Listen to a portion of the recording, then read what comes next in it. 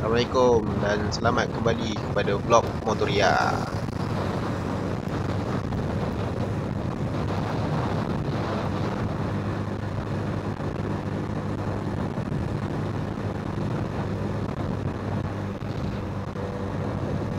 Hari ni ada benda yang buat aku marah bila aku tengok dekat Facebook dekat mana-mana social media sekarang ni.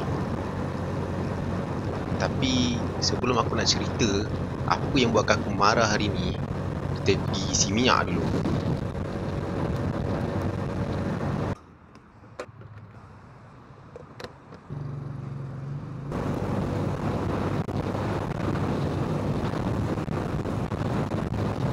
Okay guys, sambung marah balik.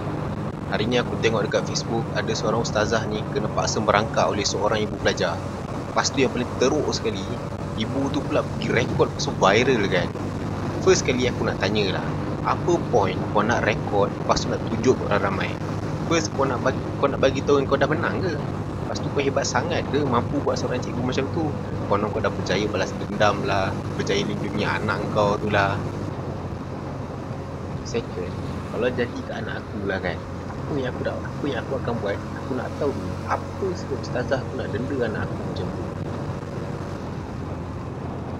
Dalam video tu yang aku tengok Dia kata anak dia terluka sebab kena denda merangkak okay, Soalan aku, aku nak tanya kat tu lah kan.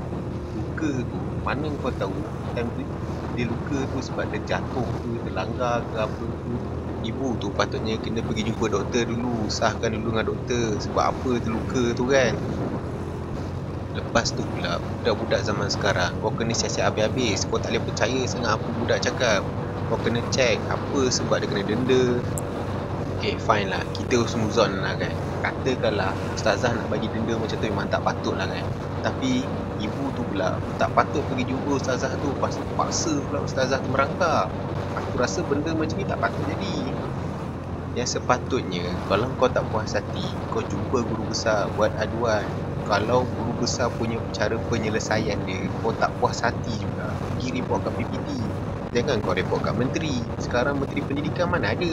Kalau ada sekalipun Takkan isu macam ni pun Kau nak report kat menteri. Aduh Okay Kalau korang follow FB Cikgu Muhammad Fadli Saleh Dia sekarang ni Dia nak bantu Ustazah ni Dengan bantuan Nak bagi lawyer. Lepas tu pula aku ada baca komen Sebab ada lawyer yang Yang memang nak tolong dia. And memang aku harap sangat lah Lawyer ni Nak tolong cikgu ni